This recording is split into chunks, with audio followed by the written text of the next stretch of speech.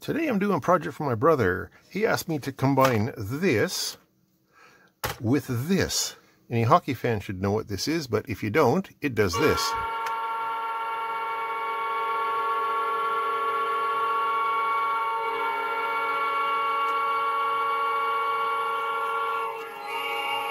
And to encourage me to do this project, he even sent me some beer. This is a New England Pale Ale from Blindman Brewing. Where are they from? Ah, they're from Alberta. Okay. That's a very long description. Feel free to pause it if you'd like to read what this thing is all about. Oh, I know it's definitely not my usual style, but hey, who am I to look a gift beer in the mouth? So in case you hadn't guessed, what he wants me to make happen is when you screw up in playing Operation and uh, hurt old Cavity Sam here, he wants the player to be greeted with uh, the loudest possible siren and flashing lights. The loud part isn't part of my brief because this thing does have an audio out and he does have a an amplified speaker that he can connect it to, so that's not a big deal. He simply wants it triggered. He said I can hack it up and run wires into it, do whatever I want. Uh, I would like to use the remote control, but even more slick, if I can pull it off, is the fact that this is an infrared remote. You see the infrared flashing when I push the button. So I'm hoping that I can just interpret that using an Arduino um, and then duplicate it using an Arduino and interface that with this guy. So I don't have to hack this up. I don't have to hack this up. I just have to make a couple of connections in there. That is my plan.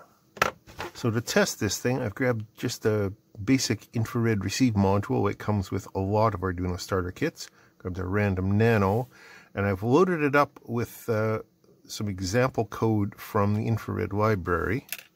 And what it's supposed to do is when I push the button and it generates its IR, this thing should translate it into signals coming into, where are we here, D2 on the Arduino. It should uh, flash the built-in LED in sync with that to indicate that it's receiving it, and it also should dump out to the serial monitor.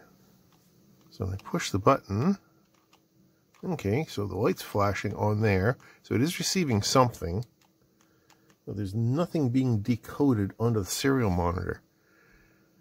I'm going to try a few other example sketches that I can find in a few other IR libraries and see if I can get this to do anything. I know the hardware is working because, like I said, we can see it flashing on the LED there when I push the button.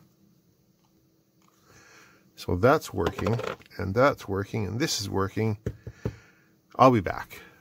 Well, I've tried three different IR libraries, and I've tried all of the receive demo sketches that come with them, and all the decoder sketches, and not one of them can figure out what uh, what format this thing is talking. So I think the next step is to pop this remote apart and see if there's anything in there that I can use.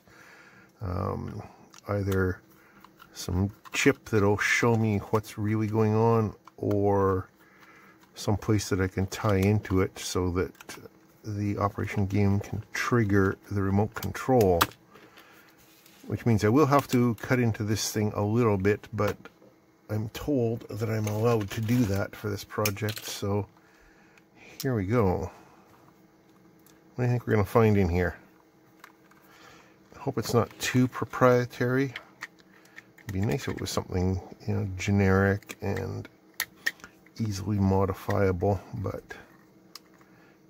I don't know how many of these things they make. I don't know how specialized it really is. Oh. Well, that's disappointing. We have a blob chip. We have capacitor, resistor, resistor, resistor, transistor, LED, and push button. It's not even much of a push button. It's just a, a conductive pad and the tracks on there that creates a contact. Okay, so it looks like that little test point there is one side and the other side looks like the other side traces out to the positive voltage. Okay. So I guess all I need to do is connect that positive voltage to that pad right there and we can get a signal. Or I don't even need that positive voltage. I only need any 3 volts as long as I'm referenced to the ground. Which I think I can get from the operation game. Because if I'm not mistaken, this runs on 3 volts as well. Yes, it does. Okay, so how do we get into that module?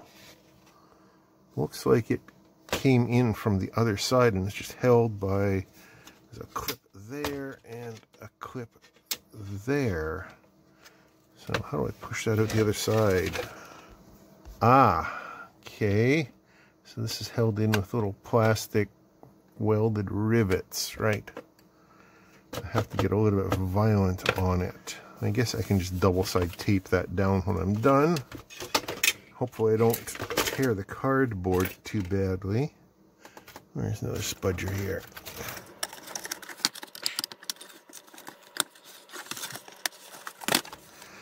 I tore the cardboard a little bit around the rivets and I broke the plastic on the rivets a little bit but we can get to our little module now and pop him out. I just need to those uh, to get that clip out of the way and get this clip out of the way and that pops out the other side. Cool. So here's the game module. We got uh, two AA batteries there, so 3 volts total. We have the probe and this just makes contact with the metal backer on the game. So when you do this, oh, in the old game that we had when we were kids, that was an incandescent light. But I think this is an LED. Yeah, it looks like an LED, doesn't it? I wonder if the buzzer in there is a real buzzer or if it is still just like a vibrator motor like they used back in the old one from, God, when was this from originally? The 70s? I don't know. Uh, did you play with this uh, game when you were kids? I'm thinking that's how old it is, though. That is just a little transparent dome, well, translucent dome, over a standard 5mm LED. Okay. Oh yeah, and then you can see the offset weight on the motor vibrating along, just like uh, just like that thing that she told you not to worry about. The other thing that I notice that I haven't seen before, there's a little micro switch in here. You can push down Huh? Oh. So when you push on his nose, it buzzes and vibrates. That's also a feature that the original one didn't have.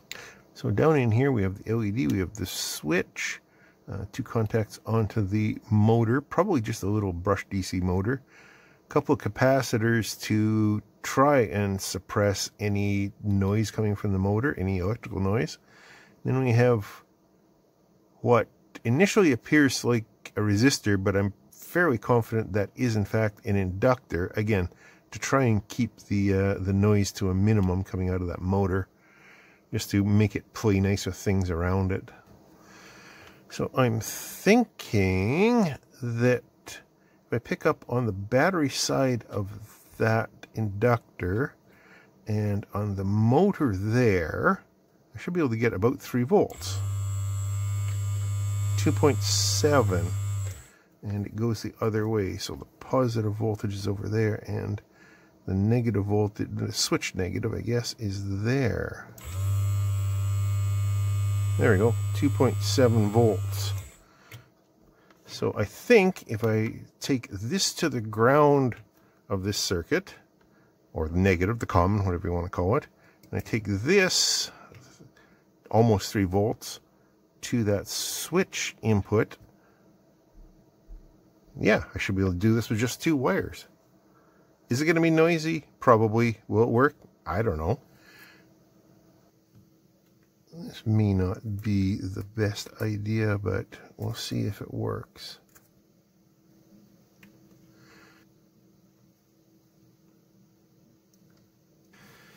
Alright, let's see what happens. Battery's back in. So if I do this... there we go. Well, that was relatively easy.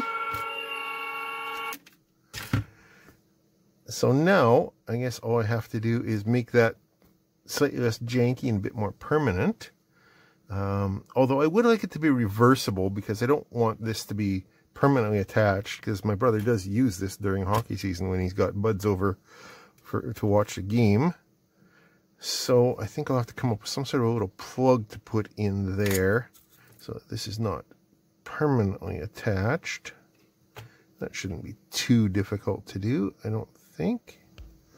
After a bit of digging around my stockpile, I think I'm going to use these tiny little two-pin JSTs.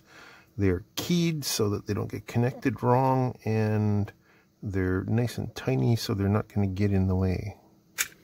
So I've poked a couple of holes in the plastic casing, and I'm just going to solder these down, and we'll reconnect it and try it again once it's reassembled.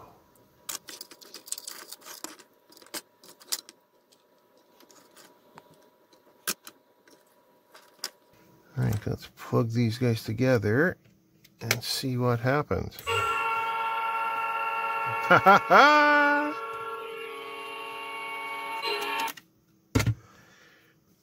That's worth a drink. Okay, I'm just going to figure out how to glue that in place so that it doesn't uh, put too much strain on the connector. I'll probably use a combination of super glue and hot melt, I'm thinking. And uh, yeah, then we'll just button it up and we'll be done. There, the glue is all set and the wires are tucked in. I've cut a wee notch in this outer rubber ring here for the connector to fit through. It's just a matter of reassembling it now and seeing if it still works. That's always the challenge when you're uh, when you're messing with something that you don't fully understand is to see if it still works after you're done modifying it.